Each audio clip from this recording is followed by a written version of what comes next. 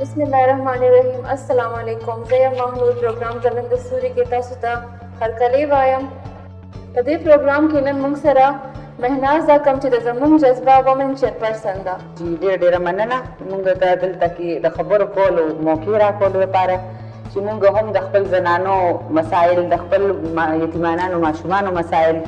عوامو ته وویلی شو جی تاسو زمونږ جذبه کې کار کوئ زمونږ جذبه څه شی دی څه دپاره کار کوي دې باره کې تاسو مونږ ته لږ وضاحت ووایئ دا تاسو چې زما کوم عهده یاده کړه دا خو زمونږ جذبه ویلفیر سوسایټي مال راکړې ده خو زه ایز ا ورکر کار کوم جی هر ځای کې که هغه د سیاست میدان دی، که هغه د سوشل سیکټر میدان دی، که هغه یو عام زما د کور یا د خاندان څه هله ځله ده، زموږ جز ګارډ ویلفیر سوسایټي دراصل یو وړه شانتې زموږ یو کاوش دی، یو اداره ده کومه چې د یتیمانانو، لاچارو وړو د تعلیم لپاره کار کوي مونږ سره دې وخت کې رجسټرډ 250 پورې واړه دي زمونږ جذبه لپاره مونږ اوس یو کمپلیکس لپاره یو بلډینګ په کرایه اغشته دی دې کې مونږ سره لس واړه دي هغه یتیمانان واړه کوم چې د پرایمري لیول وس هم نه کیږي د تعلیم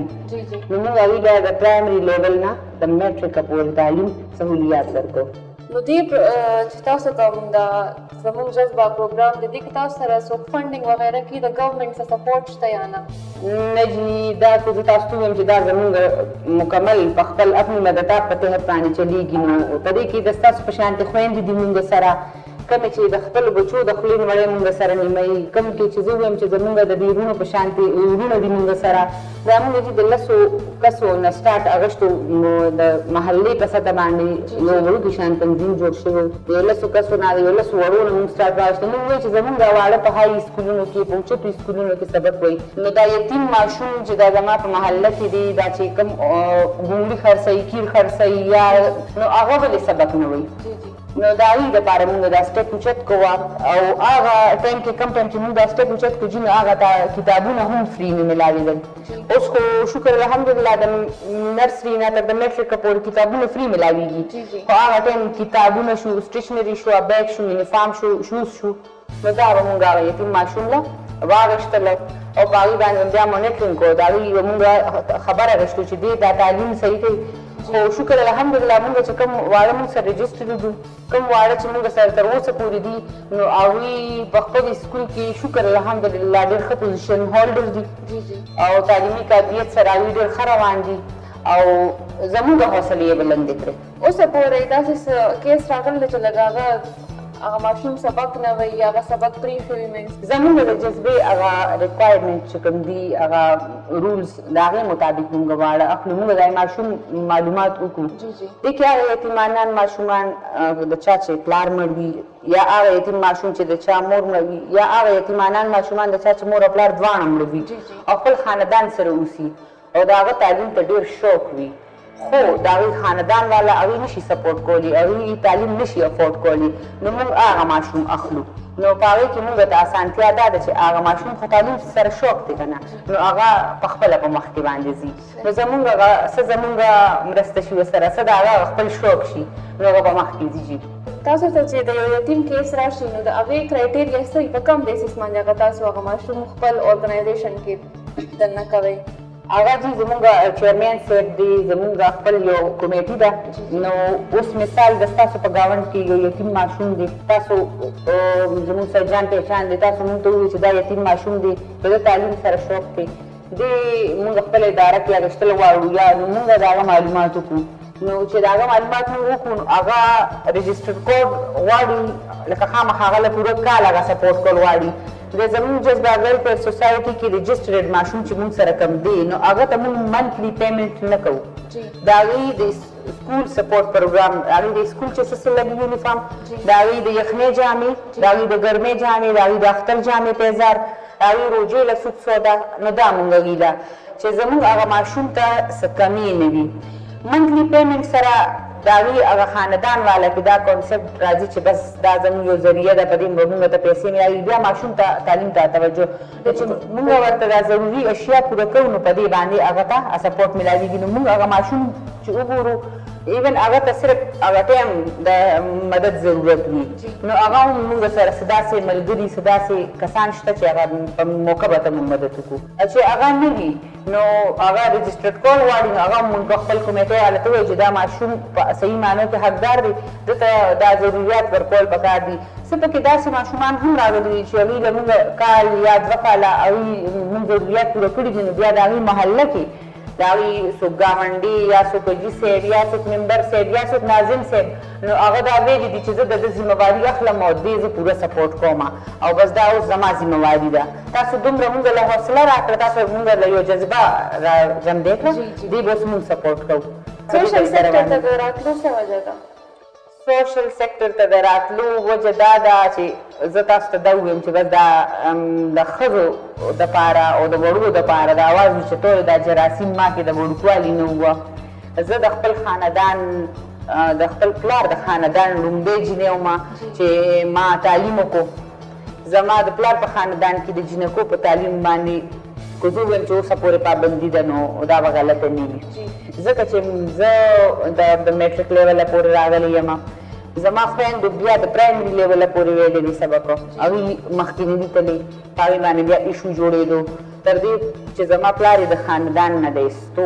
دمکیانې مو له ورکړې بیا زما په هغه هلو ځلو باندی بل زما او زما خویندو مونږ د تعلیم غلط استعمال ونه کړو مونږ چې پلار او مور کوم خاندان کې واده کړو مونږ تر اوسه پورې ښه وخت تیر کړو نو زما د واده نه پس زمونږ د خاندان دوه څلور جینکو د پرایمری لیوله پورې سکول وی ما وی چې ما ته هر کله موقع ملاو شو او زه راووتم فیلډ ته که نه او ما به دې دپاره سټرګل کوم منډې تړې او شکر الحمدلله زما د خاوند په ما باندې اعتماد دی پوره بروسه ده ما سره په هر میدان هغه ولاړ دی نو چې زه ووتم نو ما ورووتم څنګه چې د خپل بچي به مې بوتلل هسپتال ته چیک اپ لا یا ډاکټر لا د خپل بچو د پیدایش نه بعد زه راوتې یم نو هغه هلته کې به بیا ما خپل ماشوم له هم چیک اپ وارس وکړو هلته چې به دوه درې کسان نو هغوی به مې ورمخې که ډاکټر صاحب دا وګورې ده ته دا کم دي ده ته دا کم دي نو په دې چل باندې راووتو، بیا محلې په سطح باندې کمېټي د ښځو جوړېده، نو هغې له لاړم، ما خواښې مې ډېر مخالفت وکړ، نو ما ورته ویل امې چې زه تبلیخي جومات راشي هغې له ته مالېږې، یا جومات کې مدرسه کې درس وي ته مالېږې، زه دې لم ځم، زه دا هم ګورم چې دوی څه وایي، دوی د ښځو لپاره څه کوي، د هغې نه زه سیاسي میدان ته راووتم. عقیله سنبل زمونږ د پیپلز پارټۍ ممبره ده، زمونږ ضلعي صدر پاتې شوې ده سابقه،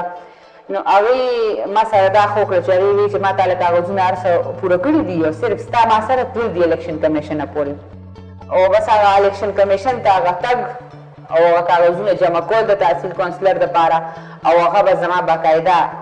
دی فیلډ ته راتلو او نو بس هغه سټارټ شو شو خو بیا ماته موقع ملاو شوه ډېر مخالفت شو ډېرې خبرې وشوې څه ځای کې یو ما او خاوند وله به مخامخ جواب ورکړو څه ځای کې ما په یوازې سر جګړې کړي دي تحصیل کونسلر که هغه هغې کې خو زه سلیکټ نه شوم خو سوشل سیکټر ته چې زه راغلم ورسره ورسره نو زه دومره مخکې لاړم چې ما وې چې دلته کې خو دا او مکه ځای دی کوم ځای ته چې ما راتلل غوښتل دا خو هم هغه مکان دی په دې کې که نور څه نه وي نو زه د خپل ښځو د پاره د خپل د کور د زنانو د پاره د خپل کلي د زنانو د پاره د خپل یتیمانانو لاچار وړو د پاره اواز اوچتول شم بس دغه مقصد څنګه چې تاسو وې چې ستاسو چې کوم سیسټرز و نو هغې سبق له نو پرېښودی نو نن سبا لکه ستاسو چې د فیملي کومې جینکې دي نو هغوی سبق حاصلوي زما د پلار په خاندان کي ما تاسو ته وویل چي زمونږ نه بعد دوه څلور کسانو ووې سبق. خو اوس نور صورتحال بس هغه شان روان دی لا نه اوس اجازت خو ملاویږي خو پرایمري لیوله پوري د های لیوله پوري په دې نه ملاویږي چي های اسکول چي دی نو د هغي نه لږ فاصله کي راځي نو زه په دې خوشحاله یم. دا پرایمري لیول پورې چې دی کنه زه په دې هم خوشحال یم. کم از کم هغې له هغه خپل نوم لیکل هغه خپل نوم ویل خو ورځي کم از کم هغې له هغه خپله د نکاح نامې کاغذ پړاول ورځي که د نکاح نامې د نکاح نامې کاغذ پړاول زه ځکه یادوم کنه چې زمونږ معاشره کې نکاح نامې کاغذ جینۍ ته نه ښیي چې دا ته وګوره چې په دې کې څه لیکلي دي د خپل حق مهر نه نه خبرېږي او د خپل طلاق د حق نه چې ما سره د طلاق غشتو حق شته او که نشته مین خبره دا ده بس ورته وایي چې دا ستا کور دی او بس موږ ته واده کړې واده کېږي ورته دی په مرګ به سره وځي نو دا پرایمري لیول پورې دا تعلیم نه دی دا هم ډېره غټه خبره ده منم چې تاسو ته به هارډرز هم ډېر زیات خو تاسو چې کوم دا سوشل کارونه کوئ تاسو ډېر په دې باندې مطمئنه دی بالکل تکلیفونه خو په هر میدان کې شته د کور په سطح باندې کو ته بهر ته نم یوتې نو د کور په سطح باندې تاته مشکلات او مسایل دي بهر چې ووتې نو خامخا به تاته مشکلات راپېښېږي خو دا مشکلات او برداشت کړی د دې دپاره چې کېدی شي چې نن زه دا سخته په ځان تېره کړم او سبا ترې راروانو نورو پنځه شپږ کسانو ته راحت مېلو شي سکون مېلو شي یا هیکتي یوه زده کړه مېلو شي د دې دپاره جي. د کوم ټایم نه تاسو دې فیلډ کې تقریبا پنځه کاله خو وشو چې اون د پلیس لګیا یو منډې تړلې هلې ځلې کوو او د دې نه علاوه لکه کور په کور په خاندان په سطح باندې هغه خو ما تاسو ته وویل چې ویم د وړوکوالي نه دا جراثیمو راکې د واده نه بعد بیا چې فیملي زما چې کومه دا نو هغوی زه سپورټ کوم هغوی لږ اوپن مایندډ دي که نه هغوی داسې نه منې کوي چې هغوی ته وجه وښیې دا خبرې ته نه چې ددې نه به دا دا فیده وي او دا دا نقصان دی نو هغوی بیا نه ماینډ کوي. او دا زه ډیرو خپلو خویندو ته ویم که نه وایم چې تاسو نن یو خبره پټه کړئ نو سبا د هغې د پټولو دپاره لس نور دروغ وایئ نو ددې نه په یو موقع باندې رښتیا وایئ د لسو دروغو نه دا یو رښتیا ویل تاسو له ښه دي بیا به وروسته تاسو ته په ډیرې اسانتیاګانې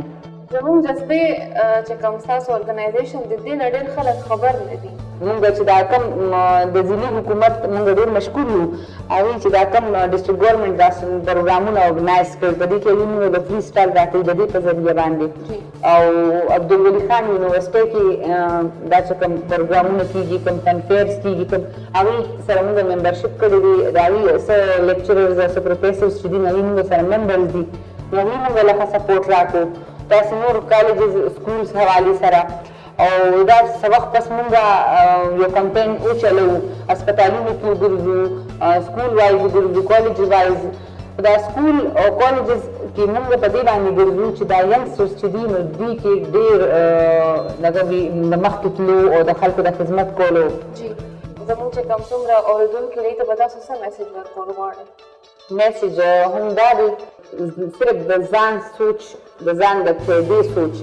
مه کوئ لږ د ځان نه ګیر چاپیر هم وګورئ شروع د خپل کور نه وکړئ خپل کور کې اول نظر واچوئ چې څوک مستحق دي څوک نه دي بیا د خپل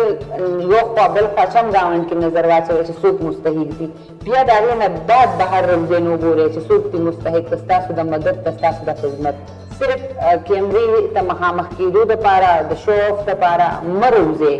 هغه الله ته د کیدو دپاره او د خولو دپاره لږ څه ښه وکړئ کیدی شي دا د ستاسو د راروان پل په کار راشي. ډیره مننه ستاسو وخت دپاره دې سره زمونږ پروګرام ځلنده ستوري ختمیږي مخ نور ته اجازت ورکړئ د خدای په امان.